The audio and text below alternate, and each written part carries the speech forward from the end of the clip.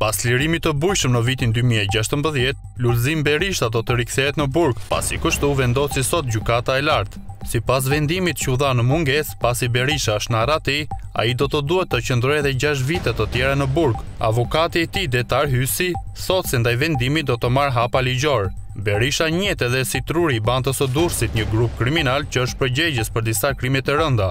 Lulzim Berisha u lirua në vitin dy mijë e gjashtëmbëdhjetë dhe aso kohe, vendimi shkaktoi furtunë akuzash, sidomos nga ambasada e SHBA-së dhe ajo e BE-së në vendin tonë. Arben Vrioni ka qenë kryesues i trupës gjykuese që shqyrtoi në vitin dy mijë e gjashtëmbëdhjetë ankimimin e Lulzim Berishës, ndërsa anëtarë kanë qenë gjykatësit Petrit Çeno dhe Anita Miçi. Sipas vendimit të tyre, Berisha u lirua me kusht me arsyetimin se ka kryer tre të katërt e dënimit me njëzet e pesë vite burg si dhe për sjellje të mirë. Dosja për vrasjen e bujshme të ndodhur në njëzet e gjashtë shkurt të vitit dy mijë e pesë u hap pas rrëfimit të bashkëpunëtorit të drejtësisë Luftar Leçi, i cili pretendon se gjithçka u bë nga Plarent Dervishaj dhe Indri Taullaj me urdhër të Lulzim Berishës. Po ashtu emri i tij kishte dalë edhe në përgjimet e grupit Abdyli nga Shijaku dhe prokuroria ka dyshime se ai do të trafikonte ngarkesën e heroinës së prodhuar në laboratorin e drogës në Has drejt Gjermanisë. Me këtë vendim Gjykata e Lartë po jep sinjale që reforma në drejtësi po ecën mbarë.